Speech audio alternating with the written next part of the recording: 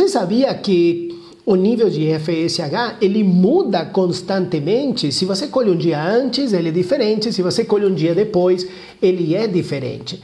E por quê? Porque existe uma relação entre o tamanho dos folículos, a produção de hormônio por aqueles folículos que o estradiou e nosso cérebro percebe isto. Ele percebendo diz: olha, já tem mais um dia mais, temos mais eh, folículos ou o folículo está maior então eu preciso diminuir meu FSH.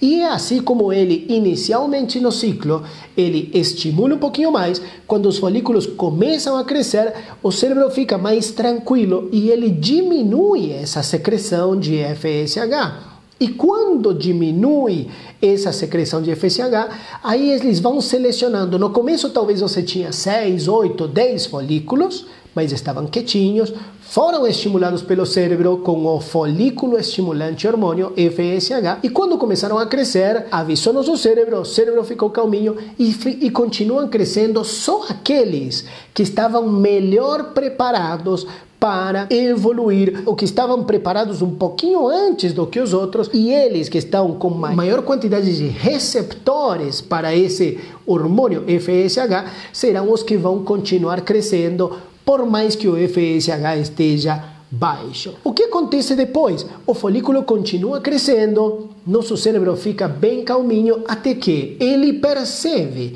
que os folículos já cresceram tanto, tanto, que estamos na metade do mês, décimo segundo, décimo terceiro, décimo quarto dia, e o cérebro fica um pouco estressado porque ele tem muito FSH e ele envia um sinal específico para que aconteça a ovulação